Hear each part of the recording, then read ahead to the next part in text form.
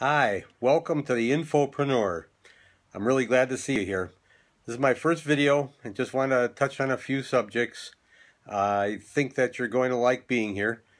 My goal is to answer all of your questions you may have about anything um, in the entrepreneurial world that you may be looking to get into. Uh, and that doesn't matter what it is. If you're looking to get into uh, online, offline, brick and mortar businesses, any of the above. Uh, we're going to publish a regular weekly newsletter. Uh, the blog's going to be updated. We have a Facebook site. I'm sure you're going to enjoy all the articles that we're going to write and put them out there for you.